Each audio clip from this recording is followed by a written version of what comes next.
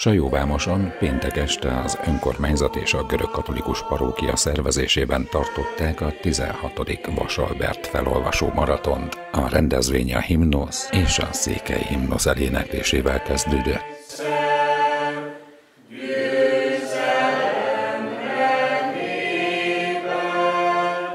A résztvevőket Tószegi István parókus, az est házigazdája köszöntötte, mint mondta, Vasalbert az a magyar íróm, akinek munkássága legszebben mutatja be Erdélyt. Szeretettel és tisztelettel köszöntöm kedves minnyájatokat a 16. Vasalbert felolvasó maratonon Sajátvároson. Néhány évvel ezelőtt fogalmazott meg bennünk a gondolat, vagyunk egy néhányan, aki szívesen olvasunk Vasalbert regényt, könyvet, és úgy gondoltuk, hogy először belevágtunk próbálkozásképpen, és most úgy gondoltuk, hogy egy hosszú folyamatnak vagyunk a következő állomásán, és szeretnénk minden évben megvalósítani Sajóvároson, a Vasarra felolvasó maratonon részvételünket. Egy olyan írónak a munkásságát tárjuk a hallgatóság elé, aki mondhatom azt, hogy a legszebben, számukra legszebben írja le az erdélyi tájat, az erdélyi hegyet, az erdélyben csörgedező patakot. Ez a mai este is egy olyan alkalom, amikor Vasarbert művészetét jobban megismerhetjük, hiszen az országban több mint 50 helyen Vasalbert felolvasó maratont tartanak, és ez a felolvasó maraton azt jelenti, hogy hát 24 órán keresztül Vasalbert műveiből idézünk, Vasalbert műveiből olvasunk, így mi magunk is jobban megismerjük őt, és hát természetesen a hallgatóság is. Az est nyitányaként az Edelényi Szent Miklós Görög Katolikus Általános Iskola igazgatójának Barta Józsefnek az előadásában a jelenlévők erdélyi körutazáson vehettek részt. Nagyon fontos az, hogy Vasalbert hagyatékát, a székely embereknek az emberi hozzáállását, azt a tisztaságát, amelyel ott élnek, azt át tudjuk hozni és meg tudjuk mutatni. Az egyik legszebb könyvvel, amivel, amivel kezdtük az olvasást, nekünk az Adjátok vissza hegyeimet volt, ez a legkeményebb és a legmélyebben megérintett könyve volt Vesalbertnek. Azt... Majd bementünk a boltba, és hát én megmertem szólalni, mondtam, hogy Domnu Vas, és mondták, hogy ah, menjünk arra. Ezt románul szépen elmagyarázták, és körülbelül hatan útba igazítottak bennünket, amíg felértünk, ma is megvan a tisztelete Vasalbertnek. És hogy mit jelent a tisztelet, a magyar ember tisztelete Erdélyben, arra elég azt mondani, hogy Báró Kemény János, akinek az előbb a kastélyában voltunk eh, Marosvécsen, amikor meghalt eh, Báró Kemény János, akit a, a kommunista időkben eh, szenet hordott, aztán Petru Gróza miniszterelnöknek köszönhetően egy időre, egy időre könyvtáros volt, és amikor meghalt, akkor Marosvécs elejétől a kastélyig a koporsóját az emberek kéztől kézig adták. Így temették el Báró Kemény Jánost. És ott már akkor is a lakosság több mint 40%-a a 70-es években román volt. Ekkora tisztelete van a magyar embernek Erdélyben mind a mai napig. Hangját fogják meghallani, aki nagyobbat ordít, hanem aki igazabban szól. És az nem lesz a legokosabb ember, aki a gyűlöletet tudja, hanem az, aki a szeretetet és a megértést. Amikor ezt olvastam, akkor azon gondolkodtam, hogy ez most mikor íródott. Csak nem 2023-ban. Nem. 1940-re utal vissza az író, mégpedig 1940 késő nyarára, kora őszére, 1940. szeptember 11, amikor bevonulnak a magyar csapatok Kolozsvára, Horti elmondja a beszédét, és békességben, békességben itt vannak és ítélnek a magyarok, várják a megérkező magyar csapatokat. Két év csoda, majd három év csoda. Magyar szó, magyar feliratok, magyarul intézzük az ügyeinket, és aztán jön a változás. De a magyar ember mindig szikla marad, és nem akar elmenni onnan, ahol él, ahová az anyaföld, a rög tartotta. Meghívtam egy olyan fiatalasszonyt, aki születésének erdélyi, és a férjével évek óta, lassan 20 éve, hogy itt él közöttünk. És amikor elmegyünk Erdélybe, akkor mindig integetünk az édesanyja házának, hogy itt lakik a Katinak, a, Katinak az anyukája. Szeretettel köszöntöm Kovács Tibor Katalint közöttünk, aki Erdélyben született, és ott nőtt föl, és aztán a Csonka Magyarországon találta meg élete pályát és boldogságát. De ő is elmondhatja, hogy amikor elindul innen, és feltűnik az első gerinc, akkor azt mondja, hogy hazajöttünk. Azután az erdélyi születésű Kovácsné Balla Katalin elszavalta Vasalbert Üzenet haza című versét. Fogadjátok szeretettel, hát amit adtatok a mottójának, ugye Vas Albert Üzenet haza című versét. Üzenem az otthoni hegyeknek, a csillagok járása változó, és törvényei. Esőnek, hónak, fellegeknek, és, és nincsen ború örökkévaló. A víz szalad, a kő marad, a kő marad. Üzenem a földnek, teremjen, ha sáskalágja is le a vetést, ha vakont turja is a gyökeret.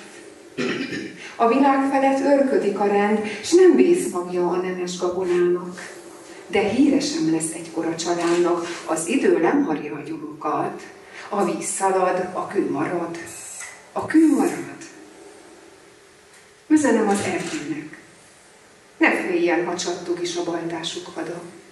Mert a baltánál erősebb a fa, és a vérző csombból virradó tavaszra új erdő sarjad győzedelmesen.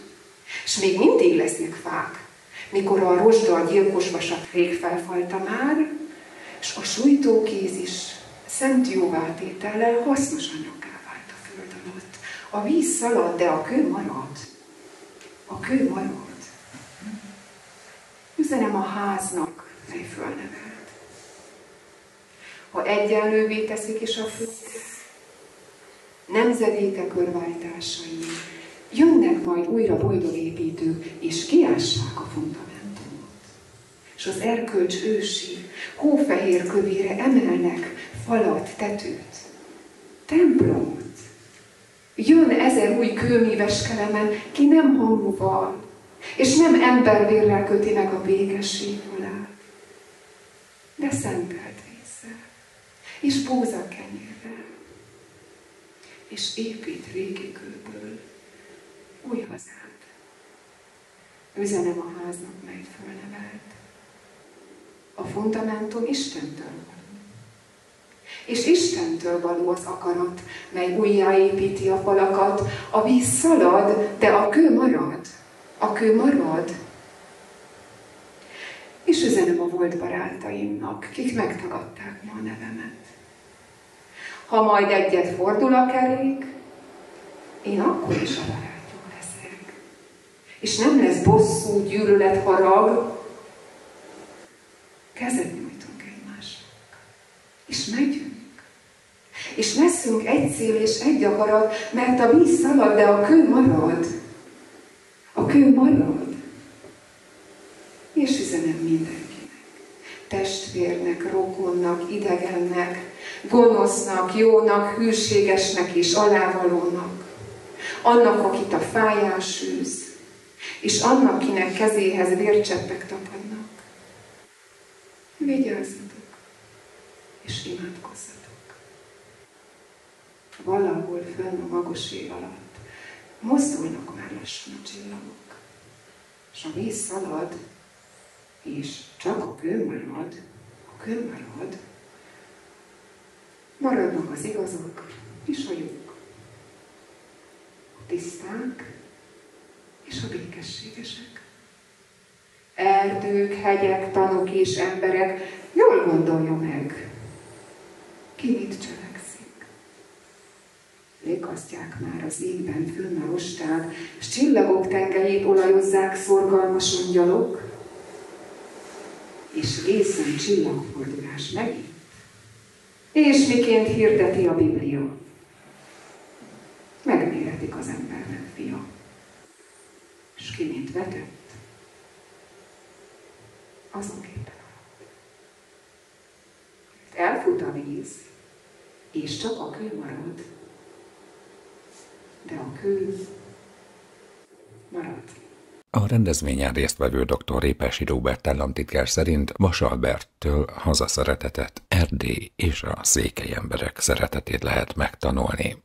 Itt Sajóvámoson ez most egy különleges alkalom. Egyébként nem első alkalommal, hanem második alkalommal vagy van jelen Vasalbert ezek között a házak között, és hát nem, nem egyszerűen a művészetét, hanem azt a hazaszeretetet, azt a, a Erdély iránti és a székely nép iránti szeretetet és tiszteletet tanuljuk meg Vasalbertől, amely úgy gondolom, hogy nagyon sokat ad nekünk ma is a 21. század harmadik évtizedében. Az est folyamán az önként jelentkezők az író-költő műveiből olvastak fel egy-egy rövid részletet. A felolvasást dr. Répesi Róbert államtitkár kezdte, majd Váradi Lajos polgármester folytatta. Szeretném megmutatni ezt a könyvet, amiből olvasni fogok. Mese az erdőről, ez egy nagyon elgondolkodtató mese, és Vasalbertnek egy igazi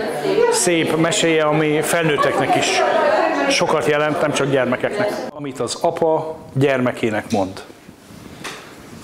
Igen, elvesztettük az otthonunkat, fiam. Elvesztettünk mindent, ahogy azt manapság mondani szokták. Mégis nézd, szép a világ.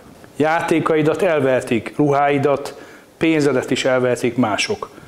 De nincsen olyan hatalma a Földnek, amelyek, amelyik elvehetné tőled azt, hogy a pillangónak tarka szárnya van, és hogy a rigófügy olyan az erdőn, mint egy nagy kék virág nyílna ki benned. Nem veheti el senki tőled azt, hogy a tavaszi szellőnek édes nyírfa illata van, és sejmes puha keze, mint a jó tündéreknek. Úgy hiszem, hogy Vasalbertet néhány éve felfedezte újból a magyar közvélemény a hosszú elhallgatás után és a, a csak a beavatottak által ismert Vasalbert egyre, egyre népszerűbb lett, és minél szélesebb körben ismerjük meg, annál inkább mindenféle rágalom, mindenféle negatív vád, amit vele szemben mondanak, azt a művészete feloldja, és megszünteti ezeket a kritikákat.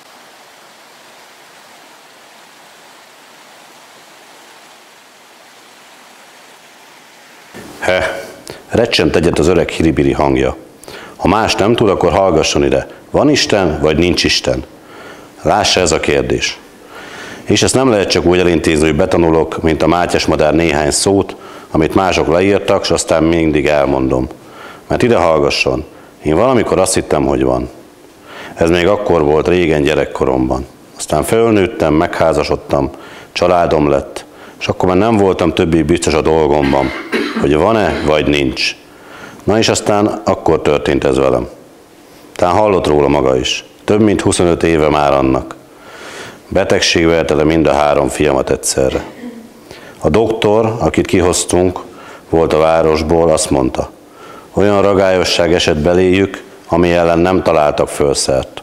A pap is eljött hozzánk, és ezt mondta, Isten az egyetlen segítség. Tudja, én akkor nem voltam ám ilyen ágról szakadt, mint most. Volt egy ügyes házam, 120 juhom, három tehenem, és valami kaszálóim az erdő alatt. Azt mondtam a papnak, ide hallgasson. Van Isten, vagy nincs? Van, felelte a pap. Hát ha van, akkor mit kíván tőlünk ez az Isten? Hogy jókat tegyünk, és segítsünk a szegényeken, meg mi egyéb, felelte a pap.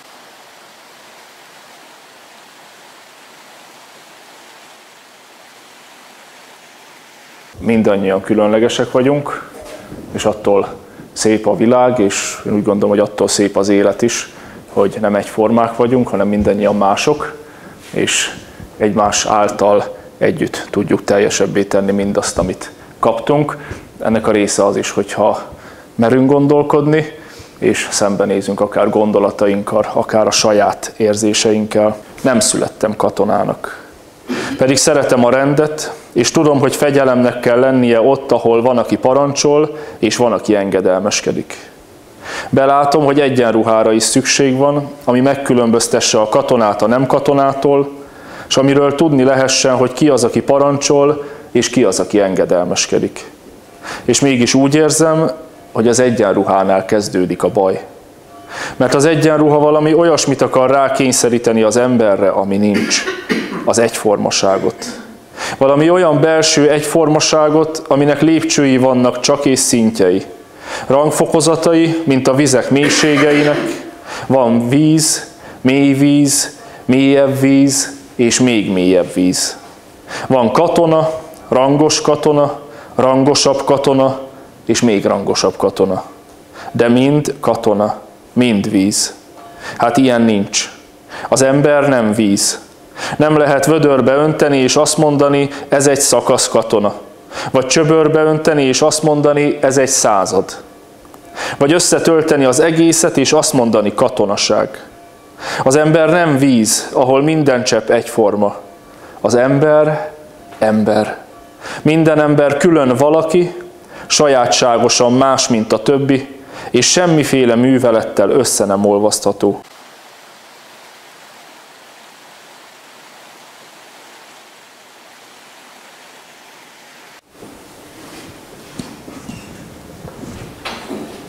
Az egyik nagy kedvenc. Vasalbert elvész a nyom, és ha újra olvassuk, akkor olyanokat találunk, ami első olvasásra nem biztos, hogy megmaradt a fejünkben, meg a szemünk előtt. A szemközti hegyoldalon fenyvesben, halálosan sárgán égtek a nyírfák, s valahol fönt az urszut fejében szarvasbika bőgött. Hangja átbúgott a tiszta őszi csöndön, mint egy szomorú kürt szó. Hát prefektus lettél, kezdte az öreg lassan. Erre vártam. Amíg éltem, mindig csak erre vártam. Hogy közülünk való legyen, aki odalent a sorsunkat intézi.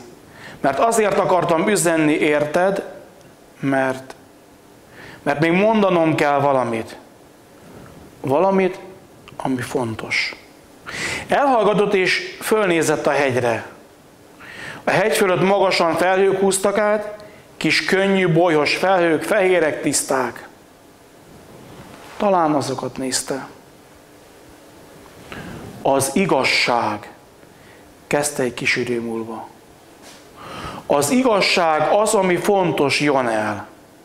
Az igazság nyelve egyedül az a nyelv, amit minden ember megért. Akik mostanában feljönnek ide hozzám a falvakból, azoknak a beszédét én nem értem. Miért van ez, Jonel? Miért dühösek az emberek odalent, miért zugnak, mint a méhek, amikor harkály kopogtatja a kast?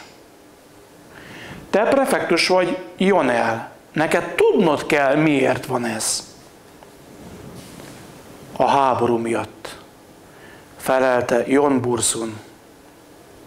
És Erdély miatt főként. Erdélyt ketté vágták a németek, és felét odaadták a magyaroknak.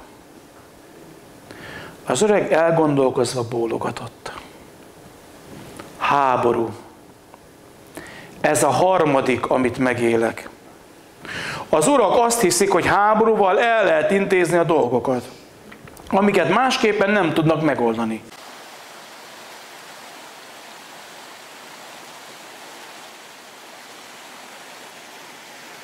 De nem bocsáthatja meg a hibát, amit elkövettünk akkor, amikor nem voltunk elég erősek ahhoz, hogy meg is védjük a hazánkat. És ennek a hibának a következményeit viseljük mostan. Amit a pap mondott, hogy Isten azokat sújtja, akiket szeret, és amit a pap nem mondott, hogy ahol bűnösök háborúznak, ott mindig a gonoszabbik győz, és a kevésbé gonosznak megadja az Isten a módot, hogy a legyőzetés megaláztatásában és szenvedéseiben közelebb kerüljön az igazsághoz, és megtalálja az egyenes és tiszta utat, amelyik a békességhez vezet.